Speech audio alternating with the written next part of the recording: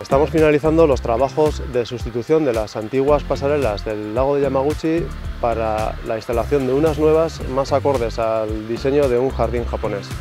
Eh, los trabajos eh, se iniciaron en el mes de febrero y esperamos tenerlos finalizados para mediados del mes de mayo. Eh, en estos días estamos rematando el acceso a las nuevas pasarelas y las plantaciones en, en la isla del lago. Han salido 12 unidades de, una, de las pasarelas para, para, que la gente pueda circular por ahí. Son de 4 metros por un metro de ancha y otras de 3 metros por un metro y unas de 5 por un metro. Básicamente esa es la estandarización de las pasarelas. De esta manera queremos eh, conseguir que el parque de Yamaguchi, eh, que es uno de los parques más visitados y más usados por la ciudad, eh, tenga un nuevo atractivo para ser visitado.